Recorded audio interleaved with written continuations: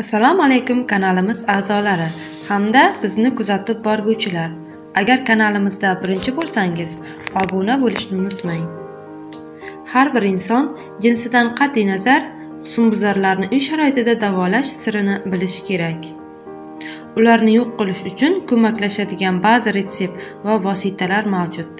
Quyida sizlarni husnbuzarlarni uy sharoitida yo'q qilish uchun niqoblar bilan tanishtirib o'tamiz. Birinchi niqobimiz qatiqli niqob. Bizlarga kerak bo'ladi bir osh qoshiq kefir bir osh qoshiq suli yormasi va ozgina limon. Kefir va oldindan blenderda maydalab olingan suli yormasini aralashtiring. Bir tomchi limon sharbati qo'shing. Tayyor aralashmani 20 daqiqaga yuzga surting. Muolajani bir oy davomida har kuni takrorlab turing. Ikkinchi niqobimiz asalli niqob. 2 choy qoshiq sifatli asal, bitta tuxum sarig'i, limon sharbati. Barcha masalliqlarni yaxshilab aralashtiring.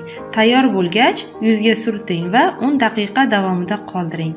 3-5 muolaja yetarli bo'ladi. Keyingi niqobimiz xo'jalik sovunidan tayyorlanadigan niqob.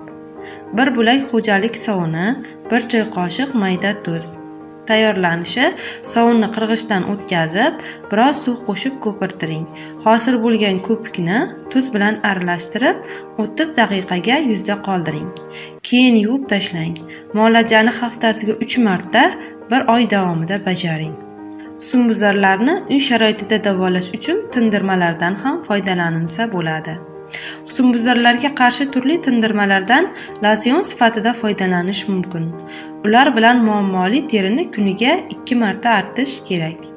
Husnbuzarni yo'qotish uchun eng samarali xalqona vositalardan biri moychechak tindirmasi hisoblanadi.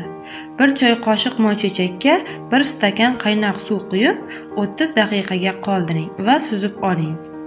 O'zining yallig'lanishiga qarshi va tinchlantiruvchi xususiyatlari bilan ko'pchilikka tanish bo'lgan yana bir vosita aloyi sharbatidir.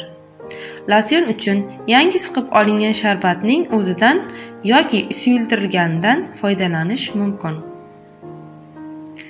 Agar bergan ma'lumotlarimiz sizga yoqqan bo'lsa layk bosishni va o'z fikr va mulohazalaringizni kommentariyda qoldirishni unutmang.